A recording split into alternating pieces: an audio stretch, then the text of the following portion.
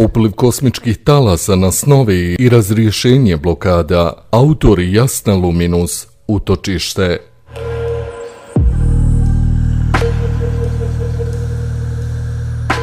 Sinoć mnogi nisu mogli spavati, a drugi koji su ipak uspjeli sklopiti oči, javljaju mi da su imali jako neobične i čudne snove.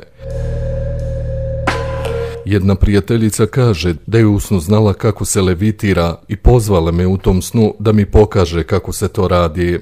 Kaže ona, kako je to u stvari sasvim prosto, treba samo da napraviš takav sklop u glavi i da prestaneš reagovati na silu koja te privlači ka tlu.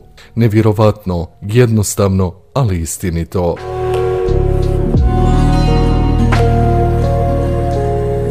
Drugi prijatelj mi javlja da je sanjao razrješenje i oslobađanje od magijskog rituala kojim je bio sputan već decenijama. Smijeli smo se kada je spomenuo da je u snu zvao mobitelom da me pita za tumačenje sna, a godina je 1990 kada još nije bilo mobitela kod nas, ali znate kako je to sa snovima, sve se izmiješa. No, bitnije je da je on usno dobio odgovor da je tome sada kraj.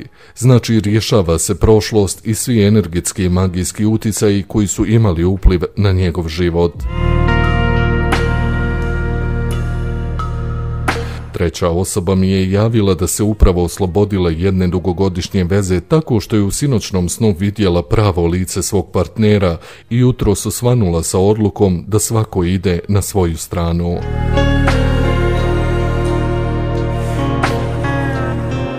Autorka želi da prijavi da je i ona legla spavati u pet sati ujutro, jer su energije opet radile svoje i ona je imala čudne snove koji su se redali jedni za drugim.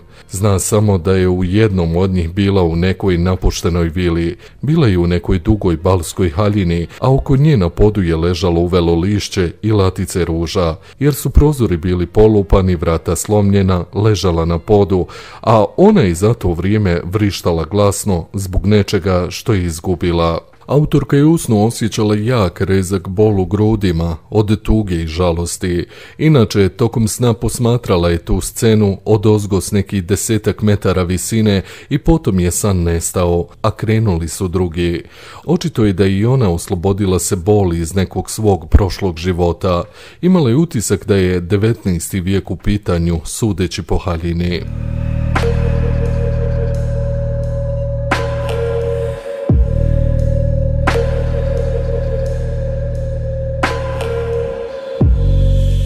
Stvar je u tome da su već nekoliko dana kosmička gama i fotonska zračenja tako jaka da proizvode ubrzano čišćenje kod svakog od nas.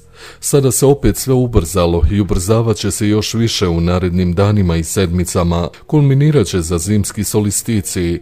Autorka želi ponovo da odgovori na pitanje koje postavlja sve veći broj ljudi. Kako će ovo prestati?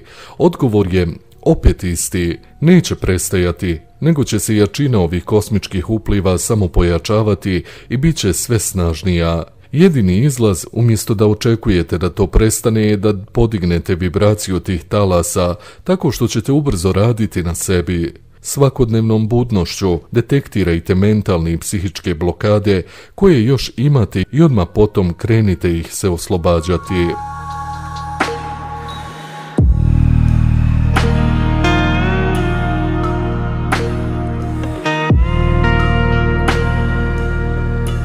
Autorka kaže da je slična stvar i sa klijentima u zadnjih par mjeseci. Neki od njih doživljavaju promjene i oslobađanje od blokada na dnevnoj bazi, a ne mjesečnoj kako je to bilo prije. Naime, sve do nedavno oslobađanje od svih vrsta blokada išla su nekako postupno, ali sada energija tako moćno djeluje da bukvalno u nekoliko dana ljudi izbaci iz sebe nešto za što je nekada prije trebalo mjesece i mjesece uložiti. Istog je iscijeliteljka Jasna Luminu zaključila da je upliv isciljujućih energija također višestruko pojačan. Znači ova zračenja koja dolazi iz centralnog duhovnog sunca naše galaksije utiču i na druge energije, poput ovih iscijeljujućih, tako su i rezultati brže vidljivi i potrebno je manje tretmana nego ranije. I to je beskonačno raduje, zato što je razlike između osobe koja je došla da se iscijeli i osobe koja je po završetku procesa otišla ogromna, a radi se bukvalno o danima, a ne sedmicama ili mjesecima. A to opet u konačnici znači da nas se sve veći broj ubrzano budi i oslobađa stega a to ubrzano povećava onaj kolektivni oblak svjesnosti probuđenih, tako da dobijamo na svakom koraku jer privlačimo događaj svojom brojnošću. Autor teksta iscijelitelj Jasna Luminus. Treća dimenzija. Pretplatite se na naš kanal. Hvala vam.